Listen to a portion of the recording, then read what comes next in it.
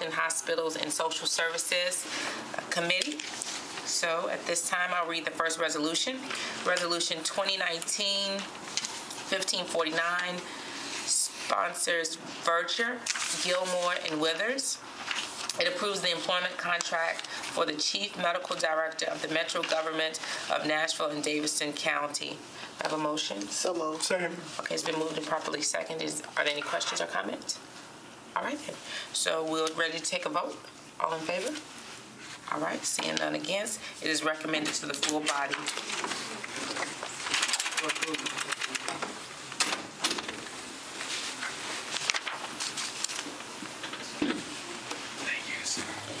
All right, we'll go to the next one, which is Resolution 2019-1550, sponsors Vercher and Gilmore, accepts a grant from the Tennessee Department of Health to the Metro Board of Health to provide public health activities to enhance the health and well-being of women, infants, and families by improving community resources and service delivery system, systems available to them. May I have a motion? Motion. Second. It's been moved and properly seconded. Is there any discussion? That's the fetal infant mortality review program where they look at this and try to see what systems need to be enhanced or improved to try to tamp those down. They've had a lot of success with sleep-related deaths. In fact, it's down close to 30% since they started it. Oh, very good, very good. And are the numbers trending down in specific demographics as well? I know it tends to be higher towards. What you're looking at. I mean, you still have, the overall death trends are down, but like a lot of things, we have that persistent, we have a persistent gap between mm-hmm. white residents and African. You know what I'm saying, African Americans is still not, It do you it have any tends to be, they're, they're both going down, but that they stay stubbornly apart. Mm-hmm. So have you guys noticed any differences or your department, um, what, what are the reasons for the gaps? Well, you look at a lot of the, the biggest issue for most of these is just premature birth, mm-hmm. low, really low birth weight babies. Um, And so you, when you back that up and start figuring out how you deal with that, it could be um, something to do with getting into uh, care Yeah, early prenatal on, care. first trimester, if at all possible. Um, But, but I think as much as anything, what they realize is it has a lot to do with the preconception health of the mother. It Has a lot to do with what kind of shape she's in physically, particularly if their pregnancies are too close together. Um, And so they, they talk a lot about trying to make sure that women space pregnancies appropriately, make sure that they're in good physical condition before they, before they get pregnant or start trying to get pregnant. Um, Like I say, they're, they are, um, they're, they're making progress. Things are going in the right direction, but they, they do tend to be there. And in, uh, in the infant mortality is, a- it just has this, the gap that's been there for, and they're, Right. it's not getting much closer. They're going the right direction, but they're not getting together. Do you know what the, the difference is, like the percentages in the gap? Is it like, Uh, They, they could tell you exactly what it looks like, but I don't know off the top of my head. This is Kimberly Wyatt, um, Kimberly, What's- Deanna Allen Robb is the one who runs this. she went to. White Etheridge? right. She's at Mary. I know, but she was working with this program. Um, I'm sorry, who was? Kimberly, um, Not Weiss Etheridge. yes, right, Etheridge. Uh-huh. She was the one that, She was, yes. Right. Mm-hmm. yes. so I know she's been specifically uh, addressing those in um, the North Nashville community, the, and those that are in poverty, because it is from the fact that they've not taken care of their bodies, they're pregnant and not even knowing that they're pregnant and not eating and continuing to drink and, you know, abuse their bodies when they should not be. Okay. So are they younger or old, are these younger? Younger, younger people? women. Mhm. No, I mean, not necessarily, so, but they, they go interview the moms if they're, if they're willing and try to talk through exactly what. Yeah, they had, I can't, it was another program that they had, I can't remember exactly the name of the program, but it was specifically for those who were 25 and under who had two or three children, that they were focused and try to help address some of those issues. Yeah. I can't remember the name of it, but I know they had reached out to me to try to help them identify some of those um, young ladies. Yeah, there, there are several programs that Yeah. are around that area particularly. So is it, is healthcare another issue as well? They don't have access to healthcare? Well, uh, any pregnant woman is eligible for TennCare. Um, That's an automatic eligibility factor. Okay. Um, Another thing that they, they realized was that what used to happen is if they came into the health department and got a positive pregnancy test, um, we would give them a, piece of paper basically that said you are presumptively eligible for TennCare. This presumptive eligibility is good for 45 days, so that they could start their, um, their, their care. Right. But it, as it transpired, a lot of doctors would not take that presumptive eligibility because too many of the women never got fully enrolled. And so they were finding themselves in a situation where if they took the presumptive eligibility and took on the new patient, and they didn't finish enrolling in TennCare, that within 45 days they had an uninsured patient. And so they stopped taking the presumptive enrollment, a lot of them. And so we now have uh, trained application counselors at every, every site in the health department, and if a woman comes in and is pregnant, we immediately, right there on the spot, enroll her in TennCare so that she can get. That's good. That's good. I was gonna say that seems like something that would like we focus on. We did like a thing for NES, like the opt-in. It seems like that. But is that something that the state that they would have to do, just to kind of opt them in versus? Do you understand? my- You don't, you're automatically eligible, but you still have to go through all the paperwork. Process. Right. I got that part. I guess I was saying that if, if it was a way they could just fully sign them up, and it would have to be optional the other way. But even if, if they did that and they don't show, you're gonna still have the same kind of And issue. It's, it's a, it's a, it's been a consistent problem in finding women early enough to get them into uh, Right. care before the, in the first trimester particularly. And then I have one more question, and I'll stop. It's Just really interesting to me. Now, um, the trends for African Americans that are living in the city, they're moving more out of the city. Do they still have the same access to you guys? Have you noticed that? Uh, You know, I haven't asked them that. I, I, I, it, it is an issue, certainly, there's a lot of displacement going on. Right. Um, That's one of the reasons we want to replace the Woodbine building and put it further towards the southeast where the clients actually live. Right. We've moved a little bit closer, we've moved a little bit further north, the Lentz building, so it's not further away from North Nashville at least. Okay. Uh, The, the big gap, I think, is in the southeast. Southeast. Okay, yeah, that's the two areas. It seems like the southeast, Yeah. if you look at the census data, The and Woodbine building is almost, is just barely outside of 440. It's pretty far north. okay, It's also falling down. okay. And so when is that on? Supposed to come online? whenever you guys. We've had a proposal in for about eight years. Okay, that's good to know. I mean, these are things, and I think we'll look up on that since we realize it's an issue, right? Okay, so, uh, And you know, Woodbine's been working out of school forever. That's our busiest. client. so There's hopefully, okay, definitely. So hopefully the committee will remember that and the importance of that. And we're talking about infant mortality. So when that comes forward, we'll put something in our minds to remember that. Okay, so are we ready to vote? yes. All in favor? Right. All right, seeing none opposing, it is recommended to the committee for approval. And I will also um, make a little note, and if we can kind of just sign a letter as it relates to the budget for that, I think that's really important for the, Woodbine. yes, for Woodbine. Okay, I just want to make sure. Yeah. Well, I mean, it, but that Woodbine, that's going to be a big thing. I mean, I think it's going to be going to take more than just a letter. Mm-hmm. You know, with the because they they offer a lot of things over there at Woodbine. You know, so it I think it does deserve more discussion. Yeah, We have definitely. been looking for a place. Um, General Services have been helping us look for a place to co-locate with the Metro Action Commission Okay, uh, for a health, uh, head, a Head Start Center, because there's a lot of, uh, it's a lot of overlap between the clientele. But then if you did that, then that would bring you back closer to north and downtown They- as they wanna opposed go to that being. direction. No, they want to go that way too. Oh, really? Yeah. Oh, okay. yeah, and we're just saying that we support. Oh, so you all are just gonna Uh, we were thinking we could build a to campus, integrate maybe and the Parks do it Central. together. It's not not giving up the headquarters where you are. No, no, Okay, no. but This is in being addition to- specifically a Head Start location. Okay. Yeah.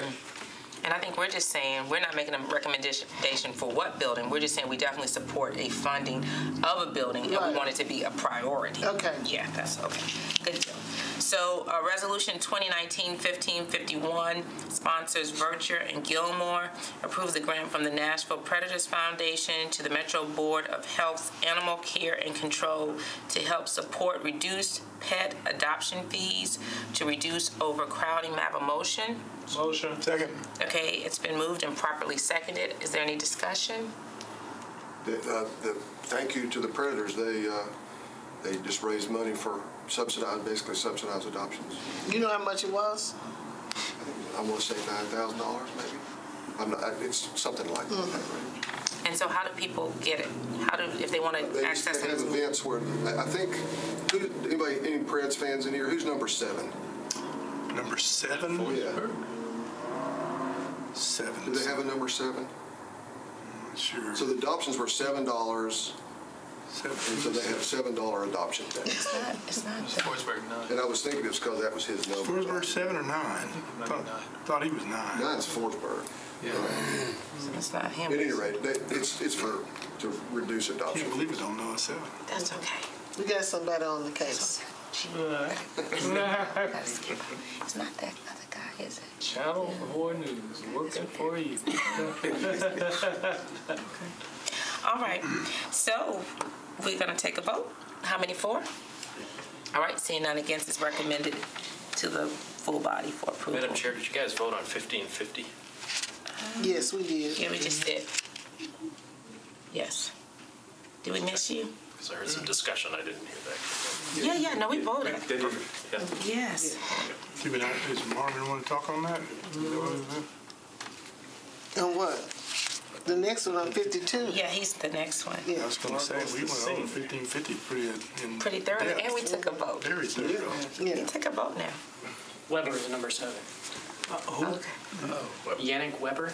Okay, okay, thank you. He's been hurt, that's why we don't. My Out of gosh. sight, out of mind. Oh, that's how life is. I knew, it. I knew on it. Yeah, working thank for you. He hasn't played in a while. Okay, Resolution 2019-1552 sponsors Vercher, Gilmore, and Bettany.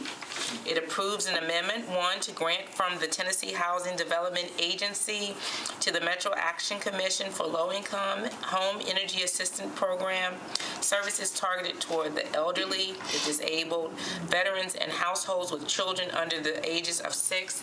May I have a motion? So moved. Second. It's been moved and properly seconded. Is there some discussion?